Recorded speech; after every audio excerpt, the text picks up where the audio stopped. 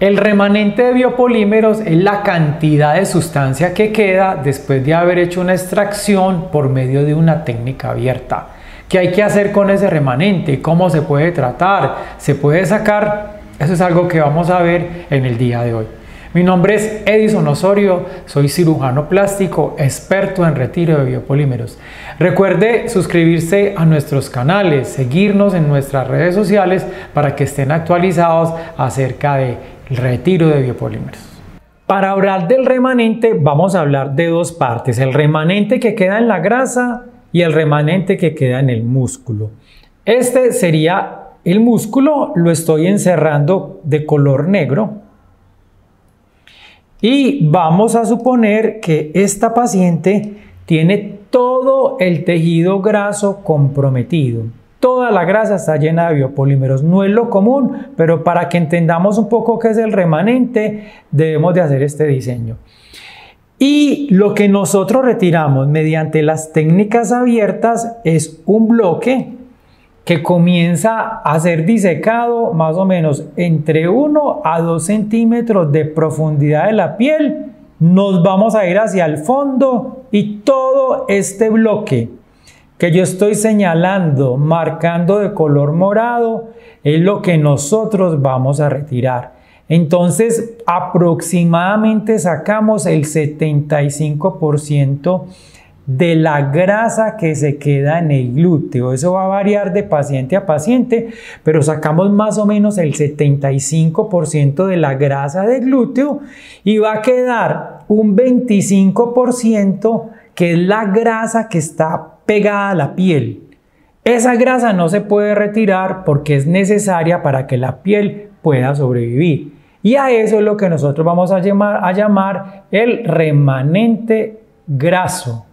Ese remanente graso, la única forma de retirarlo es sacar directamente la piel que está comprometida. Y aproximadamente ese colgajo va a tener más o menos una profundidad que llega a ser entre esto que hay acá que estoy marcando de rojo, va a tener una profundidad entre 1 y 2 centímetros.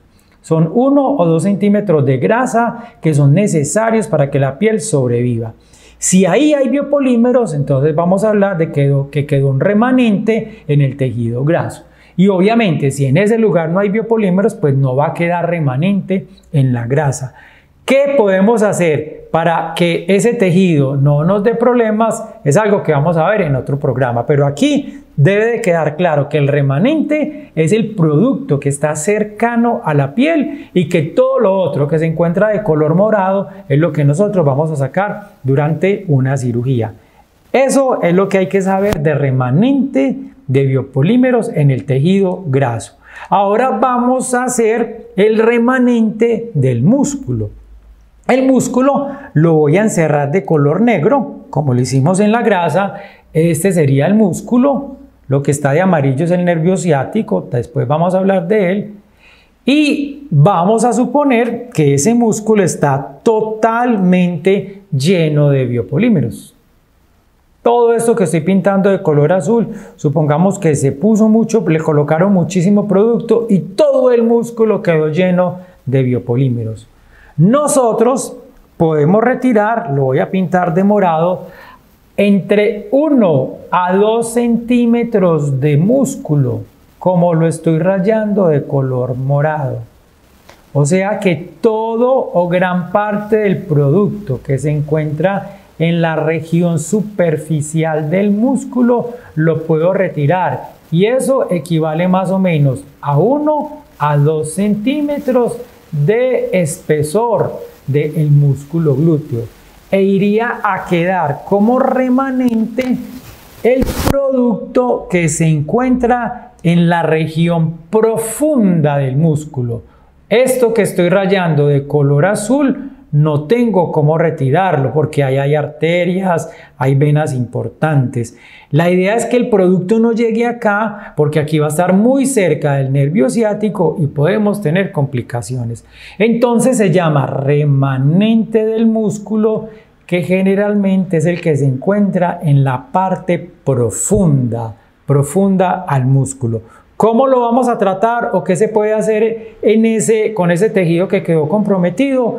Es algo que vamos a hablar en el próximo programa. Aquí lo importante es saber que es remanente. En conclusión, nosotros vamos a poder retirar tanto del músculo como de la grasa el producto que se encuentra en la región superficial del músculo. Recordemos que son más o menos unos 2 centímetros. Y el producto que se encuentra en la grasa profunda, que va a depender del tamaño de cada glúteo, donde todo lo de color morado que estoy rayando el músculo y la grasa sería la pieza o la cantidad de producto que nosotros vamos a poder retirar. En cuanto más producto se encuentre en esta zona, y no haya casi compromiso de la grasa superficial ni del músculo, mayor va a ser la cantidad de producto que yo voy a conseguir retirar. Por eso la importancia de una resonancia magnética del glúteo para poder saber exactamente dónde está el producto.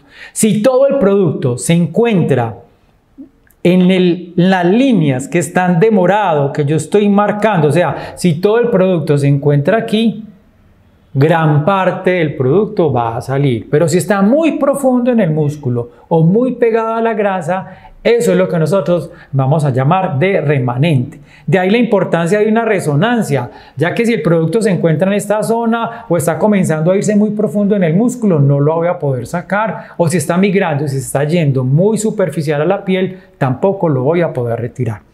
Eso es lo que se llama remanente de glúteo. En el próximo capítulo vamos a hablar cómo se puede tratar o qué más se puede hacer con el remanente que quedó en la grasa y el remanente que quedó en el músculo. Esto era lo que tenía para decirles en el día de hoy. Espero les haya gustado eh, el tema.